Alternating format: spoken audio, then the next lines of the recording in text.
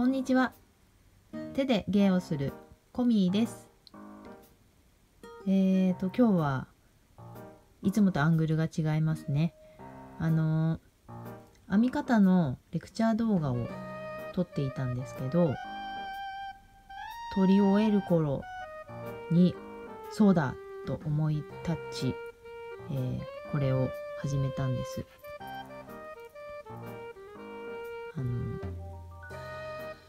猫と骨とスマイルっていう文字ね。このね後ろに映ってますけど木場製作所でご存知の方も多いと思いますがあのいろいろなパーツが売っているところです。アクセサリーとかのね。であの危険地帯なのであまり入らないようにはしていますがあの作りたくなっちゃうんです。ものを見てるとね。あまりアクセサリーをつけるタイプではないんですけど作りたいっていう思いであの、はい、買い込んでしまったこともあって。でもね自分で実際つけたりしないのでなんか作ることを楽しむっていう感じなんですけどまあでも自分でつく使えるものも作りたいなって思った時にこのね猫ちゃんのチャームがあったので、まあ、これならこうネックレスとかで使えるかなと思って買いました。でずっと作りたい。ずっとでもないな。あの買ったのは色鉛筆を買った頃に買っています。で目のつくところにこの木和製作所の袋を置いておいていつも忘れないようにという生活でしたが編み物とかに夢中になってなかなか手がつけられなくてモヤモヤするっていう日々だったんですね。であのー、スズランテープのバッグね完成したんですよ。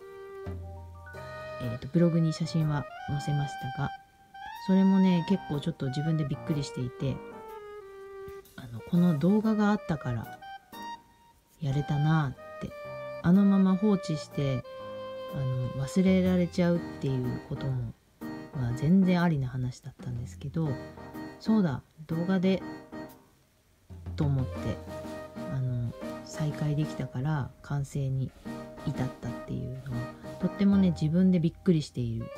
あのやればできるじゃん私みたいなそんな、あのー、感じをなんかいい刺激を自分自分で動画をやったんだけど自分でそんな副産物的な嬉しいことがあったのでああそうだそうだって思ってその勢いもちょっとあります。これもね気になってるならじゃあやっちゃおうよっていうことで取り組んでいます。ただこう作り方とかあのレシピがあるわけではなくなんか適当にできるんじゃないかなと思って買ったパーツであのイメージもねあんまりこう何て言うかな明確になってないんです。だからこのコードも家にあるコード。でうーんとね木和製作所で家にコードがあるのはあごめんなさい。カメラが倒れてしまいました。はい。家にコードがあるのはしてたんだけどこの質が木和製作所でこれを買う時の思っていた感じとちょっと違ったんですね質太さとかが。うん、だけどそれをまた入手してってやってるとまたやる気がどっか行っちゃうのでとりあえずこれでやってみましょうということでやってやっているわけです。だからね本当にちゃんとできるかわかんないんです。あのはいできない可能性もある。納得しない可能性も大いにある。だけどまあそんなもんです。あのね試作品がうまくいかなかったら次ここをこうしたいというのが明確になってくると自分の理想に近づくという、まあ、手芸の醍醐味ですけどね。そんなことがあるのでこれがうまくいかない可能性もありつつはいこの可愛いチャームにこう何て言うんでしょうかね。気分を上げてもらいながらやろうっていうことです。すごくシンプルにしたいんですよ。なので私的にはもうこれでいいかなって感じなんです。で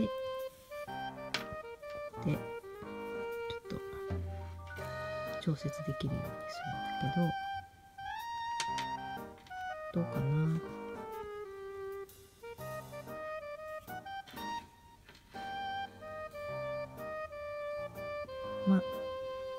いいんじゃないでしょうか。ということで今日は何、えー、て言うの？アクセサリー作りでした。えー、明日は何をしているでしょうか？レース編みもやってます。また明日の動画でお会いしましょう。手が近い。